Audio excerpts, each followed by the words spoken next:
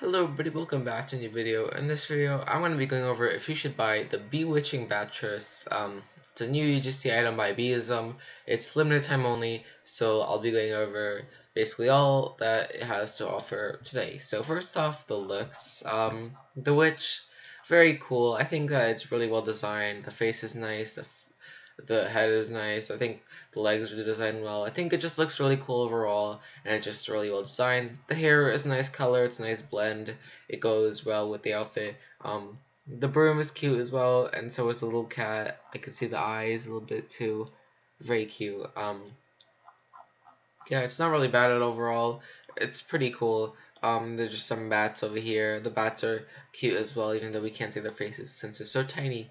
But um, yeah, I think it's just a really cool hat, and it just let's see how it looks like on a character, because that's also very important. So this is a part of Beeism's Halloween sale. She's also discounting some hats, so you can definitely go ahead and check the catalog out for those. Um, so yeah, just flies above the head about over here.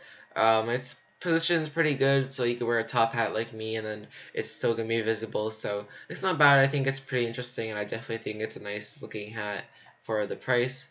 Um, the price is only 99 Robux, so for a timed item that is gonna go off sale soon for 99 Robux, and it looks this good, I would definitely recommend picking this up. It says, from now until November 1st, get Witch Bewitching Battress for only 99 Robux.